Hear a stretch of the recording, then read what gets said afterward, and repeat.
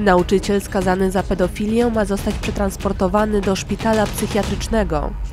Dopilnować mają tego doświadczony sierżant Zawada, sierżant Berg, były wojskowy oraz młody student prawa, zięć dyrektora aresztu. Ten ostatni nigdy nie powinien znaleźć się w Nie więźniarce. ma go, pojechał do pracy. Jakie pracy? Miał siedzieć na dupie się uczyć, jutro ma egzamin. Ale Berg zadzwonił i powiedział, że nie mają całej ekipy. Na sił ziemi, a ty jedzie do sanatorium. Nie musi dojechać. Trzeba tylko przekonać młodego. Nie pójdzie na to. W najgorszym wypadku trzy zeznania przeciwko jednemu. Nowacki nie udupi zięcia. A ty myślisz, że kto mnie tu przysłał? Czterech konwojentów, niebezpieczny przestępca i jeden transport. Dzwoń do zawadu. Jak nic nie robi, dopóki nie wyciągnę Feliksa. Wsiadaj do samochodu, powiem ci, co jest grane. A co ty mówisz? Przecież ty jesteś dyrektorem aresztu, zrób coś no! Felek, nie wtrącaj się do tego, słyszysz?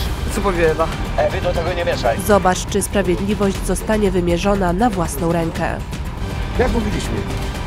Śmieci trzeba likwidować. Konwój w kinie Remus od 29 stycznia.